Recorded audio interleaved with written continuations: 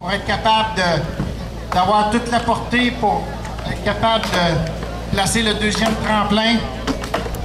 Alors, on a trois compétiteurs qui sont déjà rendus sur euh, leur premier tremplin, préparent pour le deuxième. Alors, on voit ce qui peut arriver si on a besoin d'un tremplin qui est très, très solide. Alors, ça va très bien. On est rendu sur le deuxième tremplin pour Jason Lance. Slam it in there. That's what I did. Slam it. That's it. Just five years ago. Get up, get up, get up. Slam it in there. Alors, euh, Jean-Simon Bertrand, Jason Lenz, qui sont rendus sur leur bûche. Ça va bien pour André Fortin également. On monte au deuxième étage. On encourage Gaston Dupéré. Son deuxième entaille, c'est presque terminé pour Jason Lenz. Ça va extrêmement bien. Terminé. Une bonne main d'applaudissement, Jason Lenz. Un excellent temps.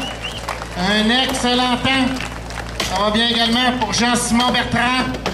On encourage également André Fortin, Gaston Dupéré à terminer leur bûche. Très important d'aller chercher un, un bon appui au deuxième étage, sur le deuxième tremplin. Alors ça va bien pour Jean-Simon Bertrand. On encourage également André Fortin. Ça va bien, c'est important d'avoir des coups de hache très précis.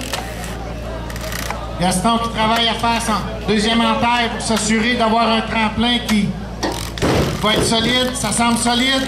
2, 1, go! C'est parti. C'est parti pour les quatre derniers compétiteurs à l'épreuve de coupe sur tremplin. Vous avez pu voir David Jouet. Seulement quatre coups de hache ont été suffisants pour pouvoir placer son tremplin.